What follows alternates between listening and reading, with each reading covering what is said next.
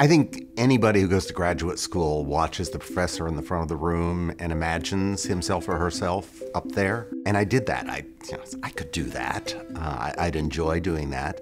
Well, you know, when I went to graduate school back in the 70s, I didn't want to teach. I wanted to do research.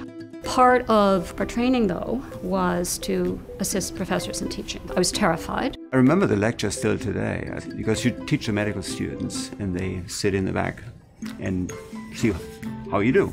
But I found that I loved preparing for it. And then when I went in and the students were asking questions, I just got hooked. You have to be um, innovative, it has to be lively, all of the above. And um, it's, it's a good challenge. It's, I like that. I thought it was good.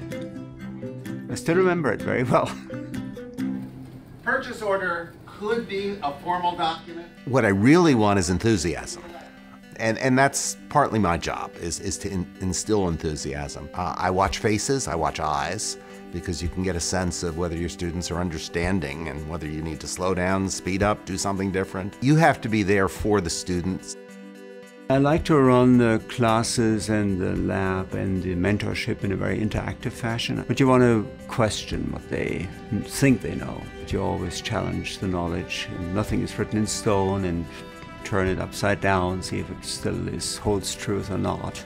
It is so much fun to see students have their own first set of data. So often, they just get so excited at looking at their data. Like, My data, look at this, you know, and they're, they're kind of appalled sometimes that the data are kind of noisy. and it's really good to learn that that's what data look like. And you relive that kind of experience, just seeing your students do things that they couldn't do before. Um, and that's really one of the joys of academics. You know, it, it's always just, you know, heartwarming when you get somebody at graduation or somebody five years after graduation saying thank you. Um, you know, they say you've made a difference. What better thing for, for any teacher? Now, what sticks most with me over the years are the experiences in preparing a student for a presentation and to coach the students and teach them in that process. That's really my most cherished memory to just see how they finally go out there and uh, make their points how they prepare it how they explain it. And i have a lot of pride in that.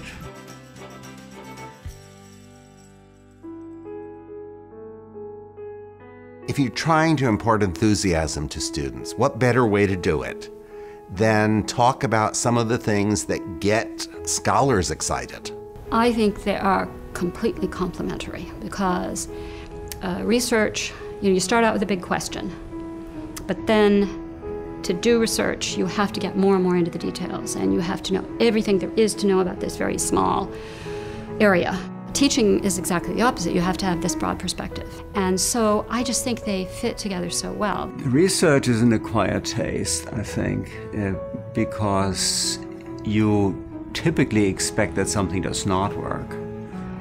And you're very pleased when it works. I'm very often pleased if my hypothesis is wrong because then I know that the experiment has told us something that I did not know before. After I finished my training in, in Germany at a junior faculty position there in pharmacology, my mentor told me you have to move into a different direction just to broaden your horizon. Cancer is such a threatening disease. I thought that would be a very exciting area to go into, and I think it was a great choice. I am interested in the aging mind and brain. How our thinking, our remembering, our reasoning uh, change as we age studying aging really is studying your own future. Well, it helps you to think about what's going to matter to me, and it helps to put the present in perspective. Somehow I fell in love, and I'm not totally sure how, uh, with the field of financial regulation. And that sounds dry and dusty. Uh, it's not. It's you know how we build uh, our society in terms of money and capital. You know, stories about insider trading, are as rich in human drama as, as any subject within the law. Academics in general is just such an amazing profession because I come into a place where everybody wants to learn. I find this a, an incredible job because you get to find things you didn't know the day before. I never get bored. It's, it's not, this is not a boring job. It's always different.